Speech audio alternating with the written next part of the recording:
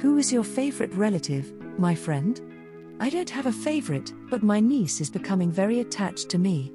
After our rock climbing outing, my niece asked if she could attend Bible study with me. I was delighted, if not even a little shocked, that she should ask me to attend our Bible study.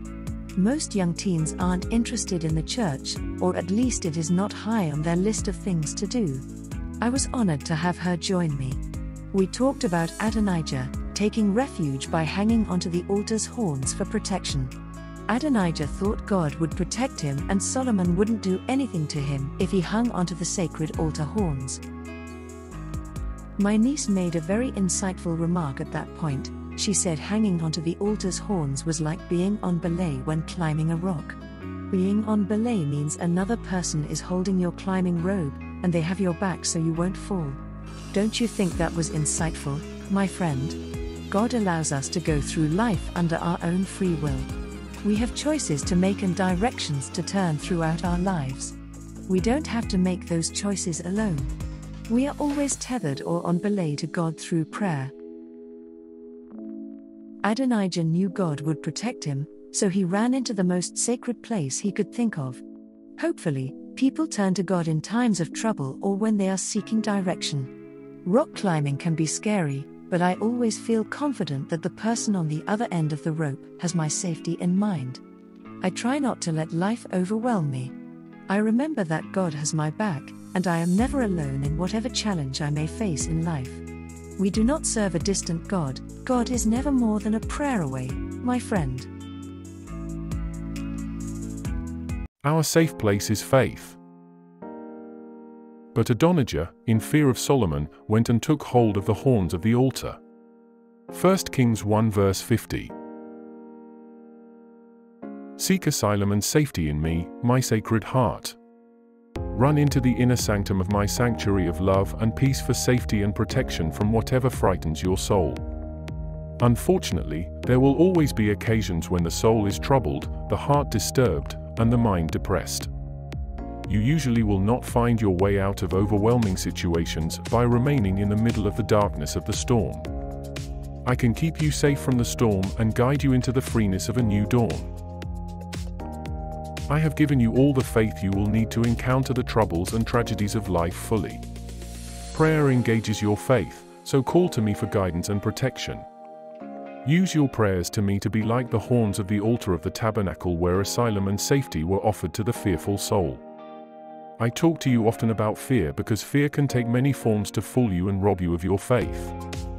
Listen to my voice and refrain from hearing the sounds that foolish fear whispers in your ear. Let faith and not fear rule your life, and you will always remain safe in my love.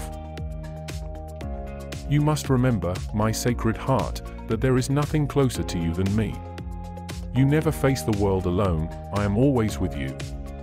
I created a safe place for you and all of my precious children. Faith is the safest place you will find. The more you believe in me, the less the world will overwhelm you. The stronger your faith, the weaker the lies of the evil one will become. Faith is not magic, it is simply seeing me in your life. I hope you enjoyed my musing today, my friend. I didn't have a list of things for you to follow or a discussion for us to enter into. Perhaps I just wanted us to remember that there is a safe place to go in times of need. As we discussed yesterday, only about half the people in the United States pray. Prayer is the sanctuary of safety where we are held in the arms of God. May I pray for you, my friend? Loving God, we were not meant to try to make it through life alone. You surrounded us with friends and family for support and love.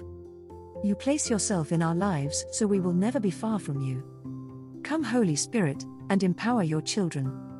You sent Jesus to show us the way of faith. To have faith even in hopeless times that even a mustard seed of faith will move mountains. Jesus, show us how to live faithful lives. We pray that you will keep us from slipping on the slopes of life. Watch our feet and guide our steps as we climb to the top. We need not worry, you have us in the palm of your hand. O Lord, watch your children, keep us close and safe. Help us remember that prayer is the sacred horns on the altar.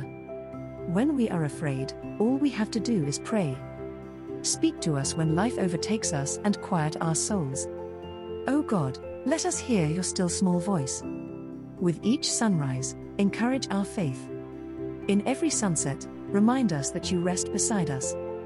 Throughout each day, never let go of our hands. In the name of the Saviour, we pray and say Amen. I pray you will have a blessed day and join us again tomorrow. It is such an honor knowing that you are with us each day. We feel we are on belay, knowing we share a supportive community in our devotional material. It is a great feeling knowing that there are wonderful people like you ready to receive our humble offering and that you will know that there is nothing closer to you than the Spirit of God.